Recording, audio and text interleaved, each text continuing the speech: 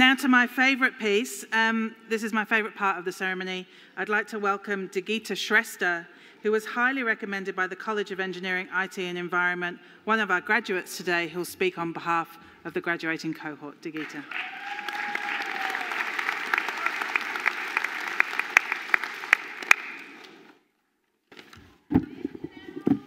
Thank you, Mum.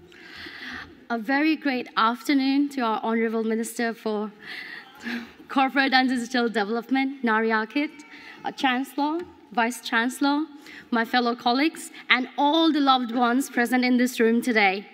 I'm Digita Shrestha. Currently, I'm finally graduated from Masters in IT Cybersecurity. It is an immense pleasure for me to be, the, to be representing the graduates and speak on behalf of all of my fellow colleagues. Firstly, I would like to start by acknowledging the country that we are standing on today, the Larrakia Nation. I would like to pay my respect to the traditional custodians of this land we are standing on today, to the past, present, and emerging. Next, I would also like to um, um, congratulate all the graduates who have been, like, let's give a round of applause, everyone. All of us deserve a huge round of applause. Congratulations to all of us. We've worked really hard, and this is the time to rip off, right? And yeah, moving on, I would like to thank our CDU, Charles Darwin University, for giving us a platform to learn, grow, upskill, and also gain the knowledge as well.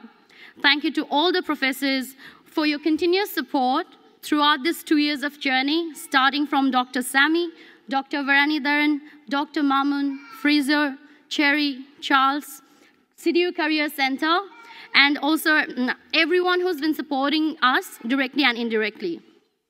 Being an international student and coming to Australia with high ambition of achieving something and pursuing my dreams and goals of becoming a better person, making my parents proud of me, and not knowing where to go and what would be a better decision for me? I coming to Sydney when I was 18 back in 2016.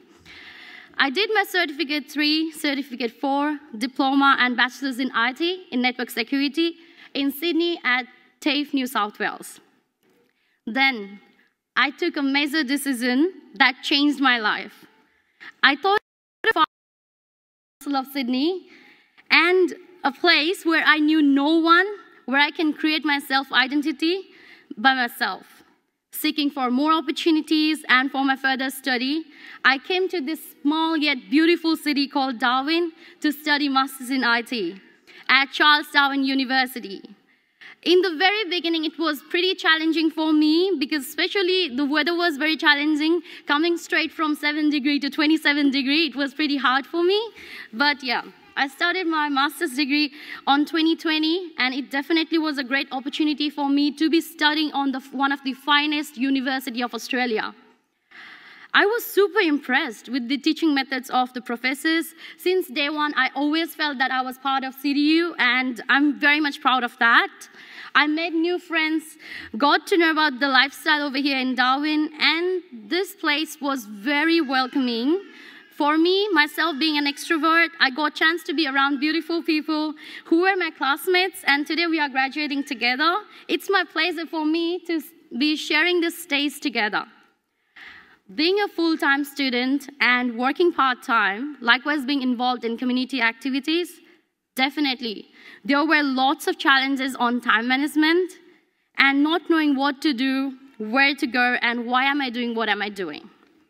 But the continuous support of my parents, my beloved husband, professors, my mentor, and my colleagues, I've been able to be here where I am today. I've, I'm, I've always been keen to be around multicultural environment, and I can never think that there is any other better place than CDU for having the multicultural environment, and I'm very much thankful of that.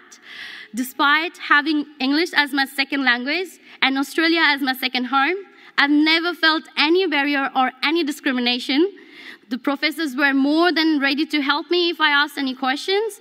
If I asked for any available opportunities, they were always ready to support me and engage the students on social activities, due to which we were also learning about the team, being able to do more networking and explore ourselves as well.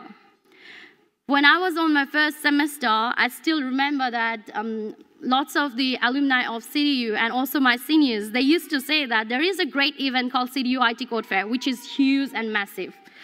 And on the very first semester, I participated on it and saw how CDU thinks about students and becoming a bridge in between the students and industry professionals.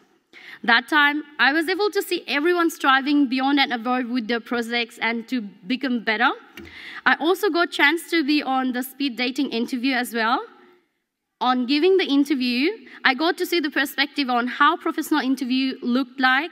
And next year, on my last sem on my last semester, I was able to participate on two of the competitions and won both of the competition as winner. And not only that, but I was also selected as the panel speaker on CDU IT Code Fair, and it was such a privilege for me. I often heard from many students that to land on a professional IT career, you either have to become a permanent resident or Australian citizen. That time, I was telling myself that I will be working on IT while I'm on my student phase, no matter what improvements I have to do to myself.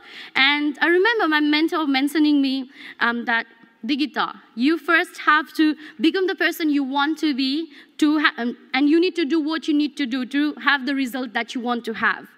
I always had that triggered on my mind, so I had promised myself that I will definitely work on myself, but I will jumpstart my corporate career on my dream company when I'm on my student phase. So I wrote on my notebook that I work at NEC I'm getting good paid. I exactly can't remember how many times I wrote that, but I kept on writing every day. And on the second last semester, before the second last semester actually, what started, I got the part-time role at NEC as service desk level and service desk analyst level two. And moving on from service desk analyst to EUC engineer, and now working as graduate network engineer, it really means a lot to me because this is what I had dreamt of which is why I studied network security. So, folks, I just wanted to address that we should never give up on our dreams, no matter whatever people will say, until and unless we have faith and believe on ourselves. And being a part of CDU IT Student Association, I started volunteering and slowly started becoming the Master of Ceremony, also known as MC. And while I was a student, I got chance to become the MC on many different events, such as Software Freedom Day, Australian Information Security Association's Cybersecurity Conference, thanks to Professor Bharani, Harmony Food Festival, and also I was awarded as the CDU Women Collective for Innovation and Change finalist. Not only that, during my study here, I've learned so much, um, not only about the core subject units, but also learned how to wear different hats on different situations, making sure that my priorities would not hamper uh, my studies, balancing the full-time study with part-time work, focusing on personal growth, and participating and being involved on social activities, so I've always focused on managing everything together along with my studies, not compromising my studies because my parents have worked so hard for that.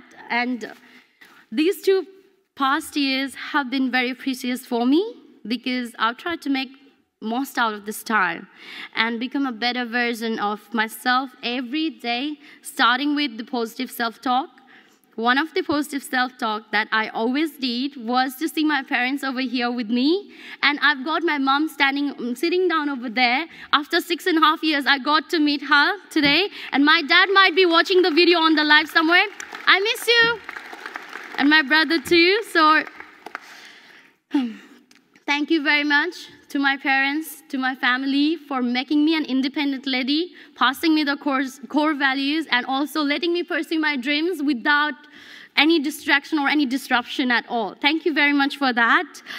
One more person without whose support I wouldn't see myself standing over here is my beloved husband, Sandeep. I've always heard that there is a woman behind every man's success, but for me, it was him behind my every success. Thank you very much for everything, and I love you. Thank you very much.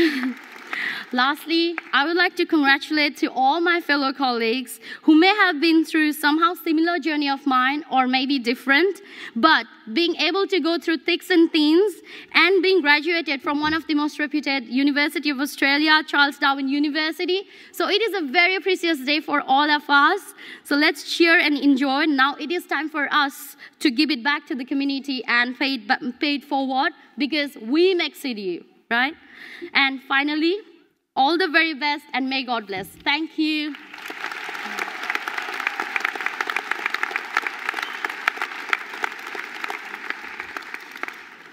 Thank you so much, Digita. Never give up on your dreams or your passwords, right? Um, please accept these flowers as a token of our appreciation. Thank you so much for speaking with us today.